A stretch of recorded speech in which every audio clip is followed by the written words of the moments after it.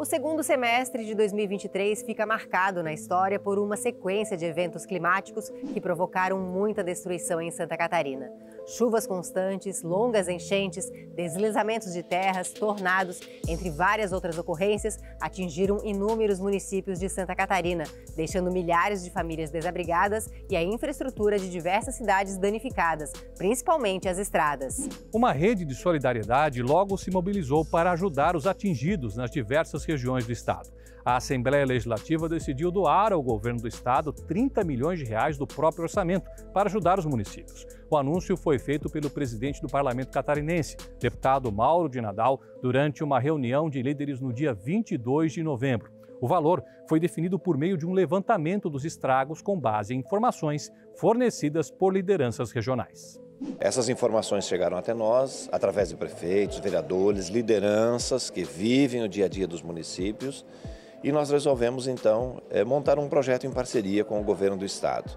A destinação da Assembleia, o valor de 30 milhões de reais, que é fruto das economias eh, provenientes do trabalho de gestão elaborado ao longo de todo este ano, trabalho esse que teve a participação de todos os deputados e deputadas, e combinamos com o governo do estado para que o governo coloque também eh, mais 30 milhões de reais do caixa do governo do estado. Então nós teremos 60 milhões de reais com o propósito de recuperarmos estradas vicinais, eh, pontes, bueiros, que é onde que encontramos o maior estrangulamento pós-chuva, que é dar condições para que as pessoas possam transitar. A Secretaria de Estado da Infraestrutura ficou encarregada do repasse dos recursos aos municípios por meio de convênios simplificados, as TEVs, transferências especiais voluntárias.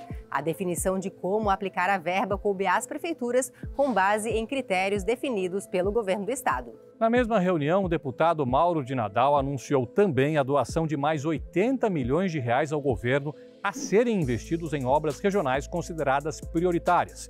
Esses recursos deverão ser usados para tirar do papel obras ou ações definidas pelas seis bancadas regionais da Assembleia. Isso é uma inovação que nós estamos construindo neste ano. É, do trabalho de gestão do Parlamento Catarinense, destas obras que nós vamos ter ao final do ano, nós estamos destinando eh, 80 milhões de reais que nós faremos a doação ao governo do estado, mas doação carimbada. De que forma carimbada? Pelas bancadas regionais. Nós criamos as bancadas regionais ao longo deste ano.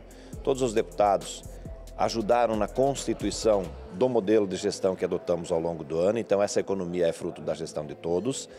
E nada mais justo do que nós contemplarmos essas bancadas regionais para atender projetos regionais, ou seja, projetos impactantes que resolvam demandas que a região possui. Nós temos seis bancadas regionais, um grande exemplo é a bancada do Oeste, que se consolida desde 2019 com uma bancada muito atuante, e agora nós estamos dando ferramentas, mecanismos, recursos para que estas bancadas consolidem a sua atuação, consolidem o seu trabalho e, acima de tudo, esta sintonia com aquilo que é a necessidade que cada região possui.